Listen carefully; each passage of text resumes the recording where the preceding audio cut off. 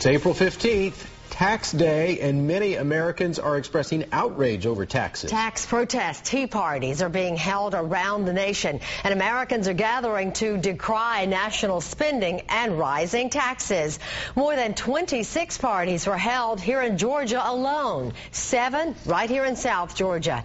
WALB News 10's Jennifer Emmert is at Albany's tea party that's going on downtown at the courthouse, and she's live now. Jennifer. Dawn and the crowd continues to grow here at the tea party that just kicked off at 5 o'clock and runs through 7 tonight. Today, T stands for taxed enough already. And the group of people that have gathered here say they want the overspending in Washington to stop. They've brought tea bags here, and they're not going to put them in the fountain across the street. They're going to take these tea bags to their local representatives, Congressman Sanford Bishop and Senator Johnny Isakson.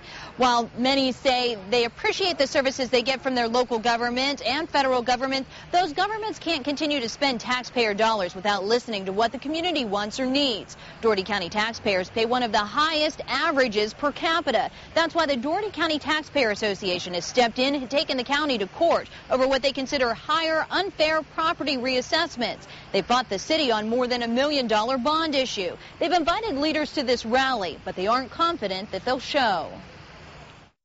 In fact, I invited Mayor Willie Adams just this morning, and he said that he didn't feel like he needed to be here. And I said, this is an important event for, for you and other politicians to hear what the citizens have to say. They say local, state, and federal representatives need to hear what their communities are saying and act appropriately when they cast their votes on legislation. Today at many of these rallies, and this isn't the only one happening, there are many rallies happening in Atlanta, in Leesburg, all over southwest Georgia. They're asking people to pull out their cell phone and call their representative and tell them that they want to see this overspending stopped. All right, thanks, Jennifer. It's estimated, in fact, that there will be more than 1,500 tea parties around the nation tonight. Among them, a rally that's going on right now at the Lee County Courthouse. We'll have highlights of that rally tonight at 11 and on WALB.com. Hundreds of people gathered in downtown Tifton to voice their resentment of the government at a Tea Party rally in Veterans Park.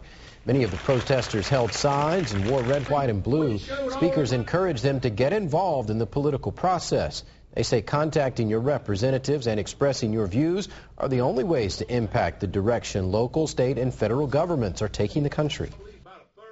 I'm furious about the way we're being led towards socialism. I'm furious about the incredible waste of money when things that we really need and are important get dropped because there's no money left. Today's tea parties are being held in more than 2,000 cities around the nation, coordinated by a conservative political action committee called Freedom Works.